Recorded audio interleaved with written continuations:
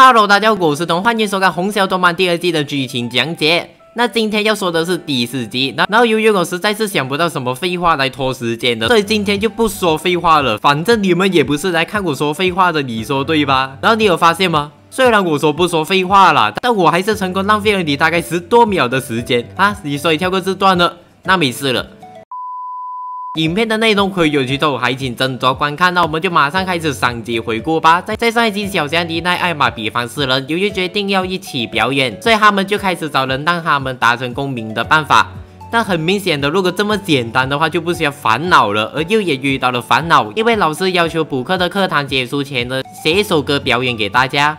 但也理所当然的，他们的问题在最后也成功解决了。上集回顾结束，就让我们马上开始第四集的内容吧。那第四集一开始就告诉了我们，小夏他们四人的表演得到了粉丝们的支持，也因为这样，他们表示要让校园偶像剧圆满成功。而此时，爱表示他想举办线上演唱会，因为也有人无法来到现场观看演唱会的。其他人也表示赞同，还说只要找其他社团帮忙，应该是没问题的。而爱也表示想要尝试组团。艾玛一听到，马上问果林你。不组团吗？但果林回答还是彼此竞争比较适合我。从这点我们可以看出，艾玛很担心果林找不到除了他以外的 CP。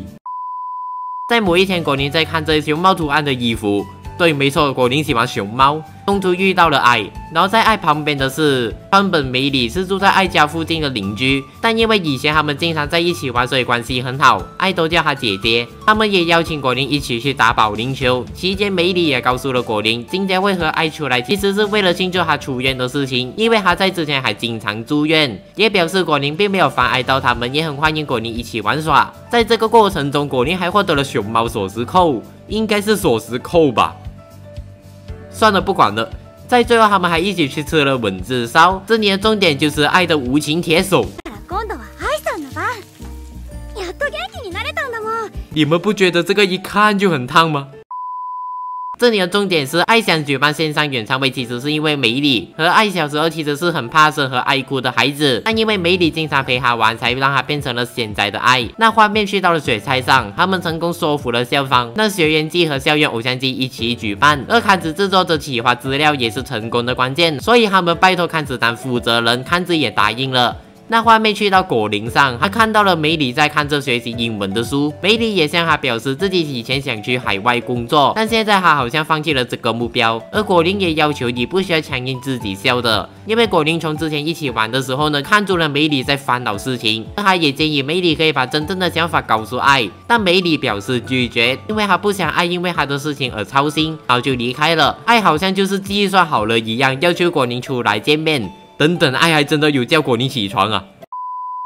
那爱会叫果宁出来，其实是因为他发现了梅里的问题，所以才叫果宁出来讨论此事，并想为梅里做一些事情。但果宁将一先放着梅里不管会比较好。不过身为行动派的爱，怎么可能会看这呢？所以他就去找了梅里，表示自己什么都愿意做。梅里也向他讲述了他住院时的事情，因为无法上学，导致他和朋友的距离疏远了。而爱一直陪在自己身边，可以说爱就是他的支柱。但在爱成为了校园偶像后，看着不断在前进的爱，在自己却无法前进。已经什么都没有了。在他离开前，他也表示还会继续支持爱的。那在同哈位在准备校园偶像季的东西时，爱和果林并不在这里，他们在别的地方。爱表示自己以为能让美里开心的事情，却没想到原来是在伤害他，伤害了对自己而言就是姐姐的美里。他觉得自己没有资格做校园偶像了。我们的果林并没有安慰爱，他使用了激将法。如果是这样的话，因为你不做校园偶像了，就让我来代替你上台表演吧，然后我就可以把你的粉丝和美里都抢过来了。爱听到后直接表示不行，因为自己还是想做校园偶像。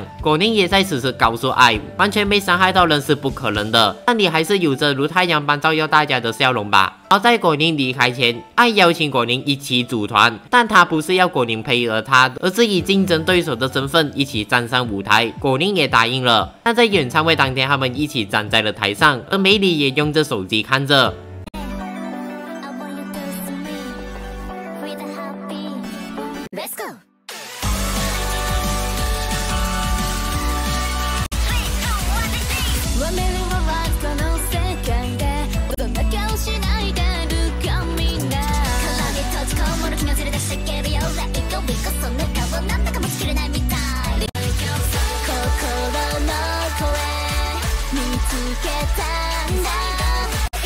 Ready? Let's go step into the new world いつで感じて歌うよ全力で伝わる